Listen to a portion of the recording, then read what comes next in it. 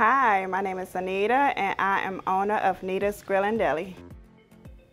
At Nita's, we offer fresh, hot soul food. Um, we offer fried chicken, fried pork chops, uh, seafood, catfish, tilapia whiting, and flounder.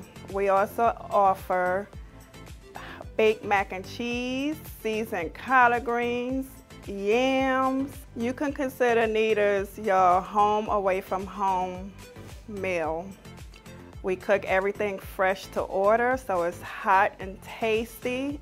What we do here at Nita's for the community, right now we are collecting school supplies. Yes, school supplies for our surrounding schools. So if you have anything you'd like to donate, please stop by at any time.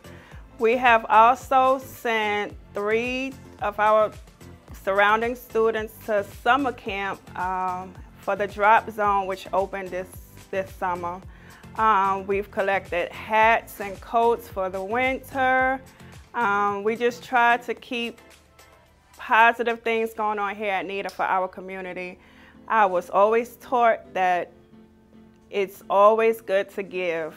So here we try to give as much as we can. Um, we've collected money for a stranger that we didn't even know from one of uh, a different organization who had a house fire. Um, just anything that we can be involved with as far as the community, we try to participate in. Please stay connected with my friends here at The Experience on Instagram, Facebook, or YouTube.